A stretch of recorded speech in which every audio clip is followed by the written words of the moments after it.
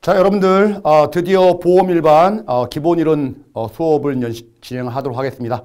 어, 우리가 이제 기본적인 교재 내용에 앞서서 어, 우리가 보험 일반 관련된 부분들을 어떤 식으로 음, 진행이 되는지에 대한 간략한 오리엔테이션 어, 안내를 드리도록 하겠습니다, 여러분들. 자, 어쨌든 우리가 단기 학습 가이드라고 해서 별도의 영상들도 여러분들 보셨겠지만은 우리는 보험은 만점 맞으시기 바랍니다. 100점. 자, 그러기 위해서 가장 중요한 것이 바로 기본 이론 어, 내용이다라는 거예요. 우리가 첫 걸음이 떼져야지만이 그다음부터 달릴 수가 있는 거잖아요. 그래서 첫 걸음을 아주 경쾌하게 시작하고 그리고 처음부터 힘을 확 주면 여러분들 어떻게 돼요? 다리 부러지죠. 그래서 아주 가볍고 경쾌하게 그리고 쉽고 재밌게 음, 출발을 하면서 이 기본 이론에 집중하는 시간을 가지게 될 거예요. 자, 그런데 우리 그렇게 하면 조금 부족하거든요. 우리 2024년도는 문항수도 늘어나고 자 그러다 보니까 별도의 우리가 중간중간에 여러분들 어, 테마 특강들이 또 올라가게 될 거예요. 어, 테마 특강도 함께 병행하시면서 우리 기본적인 이론 부분에 대한 이해와 그렇죠. 그리고 어, 우리가 우체국 보험의 상품 내용들 뭐 이런 부분들에 대해서 어, 큰 그림을 그리고 그죠? 어, 우리 어, 시험에 준비를 하자라는 게 기본적인 첫 단추다라고 보시면 돼요. 그러니까 단추다 끝나면은 여러분들 뭐 문제풀이라든지 어, 최종 모의고사는 요 과정 커리큘럼에 맞게 잘 따라오시면 됩니다. 우리는 기본 이론 시간부터 이제 시작을 하는 겁니다, 여러분들. 자, 그러면 기본 이론과 관련돼서 우리가 보험 일반 과목 구성의 내용을 간략하게 좀 말씀을 드리면은 어, 보험 개론이다라고 해서 1편이 이렇게 나와 있어요. 자, 1편 내용을 보니까 어, 일반적인 이론과 어, 생명보험, 그리고 보험 윤리, 소비자 보호, 뭐 재산보험, 보험계약법 상당히 좀 생소한 그런 장들이 막 있죠. 여러분들 목차를 보시게 되면은 그리고 우체국 보험과 관련된 일반 현황, 리스크 관리, 자금 운영 뭐 이런 것들이 있어요. 자, 우리 보험이라고 하는 것은 여러분들 기본적인 이론을 떠나서 보험이라는 것은 뭐예요? 우리 보험 가입자, 음, 개인들이 보험회사에 돈을 납부를 하는 거잖아요. 보험회사에. 그렇죠? 보험회사에. 우체국 보험도 마찬가지인 거죠. 그리고 불의의 사고가 발생했을 때 어, 우리가 아는 사람들끼리는 서로 위로하고 이렇게 하지만은 그 위로를 뭘로 받는 거예요? 어, 금전적으로 돈으로 경제적인 이런 혜택을 받는 것이 바로 보험이에요. 사고를 당했을 때. 자, 그러면은 보험회사 입장에서 보게 되면은 이렇게 국민들의 재산을 가지고 어, 돈을 받아서 돈을 준다라고 하니까 이 돈과 관련된, 즉, 금융과 관련된 부분들이 상당히 어, 우리 민감한 부분이잖아요. 그래서 이제 보험회사 같은 경우에는 돈 장난하면 안 되겠죠. 그렇죠? 그리고 일부러 돈 타려고 어, 사고 치면 또 안 되겠죠. 그래서 양 당사자 간에 보험 계약자뿐만 아니라 이 보험회사 간에 어, 균형 있는 균형 있는 그런 건전한 우리 행위들이 있어야 된다라는 거죠. 그런 것들을 규제하는 것들이 법률이죠. 그래서 법률과 관련된 보험업법이라든지 보험계약법, 상법, 자 이런 내용에서 뭐 이런 부분들을 쭉 다루게 되는 거고 그리고 이 돈들을 어떻게 운용할지에 대한 자금 운용과 관련된 부분들 그죠? 음, 돈놀이 하면 안 되니까 돈 장난치면 안 되니까 자 이런 내용들을 전반적으로 다루겠다 어, 다루는 부분이다라고 보시면 됩니다. 그래서 여러분들 어, 수업 내용을 차근차근 따라오시게 되면은 어, 하나도 안 어려워요. 지금 제목만 어려울 뿐인 거지. 그래서 첫 단추부터 으레 겁먹고 어우 너무 어렵겠다 이렇게 생각하시면 절대 안 돼요. 그래서 순서만 잘 지키시면서 잘 따라오시기 바랍니다.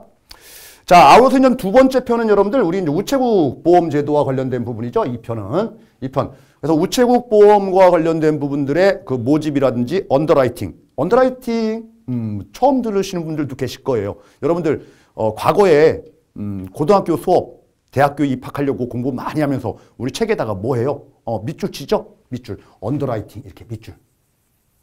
그렇죠? 어, 이런 것들을 우리 또 공부를 할 겁니다, 여러분들. 자, 그런데 이런 부분들은 여러분들 앞쪽 우리 1편에서 다 공부들을 하, 할 거예요. 이런 내용들이 이제 우체국 보험에서는 어떻게 접목되면서 어, 지금 적용되느냐라는 부분을 어, 공부를 하는 거니까 우리 2편과 관련된 부분들 어, 공부를 하실 때는 훨씬 더 쉬워질 거예요. 1편에서 기본적인 것들을 다 공부했으니까. 그렇죠? 그래서 2편 너무 어려운 부분이 아닙니다. 1편이 관건이에요. 자, 이제 마지막 이제 제일 관건이 되는 게 상품이에요.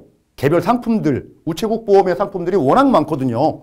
그래서 여러분들 교재 보시면은 한번 쭉 넘겨보세요.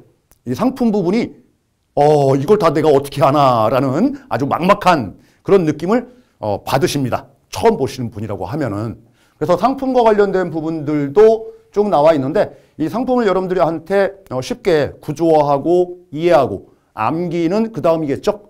음, 암기는 별로 없을 거예요. 그래서 구조화하고 이해할 수 있도록 다 차근차근 설명을 드리도록 할 거니까 어, 그렇게 너무 지레 겁먹지 말자. 이거는 겁부터 먹으면 답이 없어요. 그렇죠? 겁먹는 사람은 무조건 지는 겁니다. 그래서 절대 겁먹지 말자. 아무것도 아니다. 그냥 종이에 까만 글씨가 있는 거다. 첫 단추는 그렇게 생각하시라는 얘기예요. 다 설명 듣고 나면은 별거 없네 라고 느끼시게 될 겁니다. 자 이렇게 여러분들 어, 전반적인 부분들을 이렇게 학습을 하실 거고 이 상품과 관련된 부분이 출제 비중은 대략 어, 40% 정도 어, 예상이 됩니다.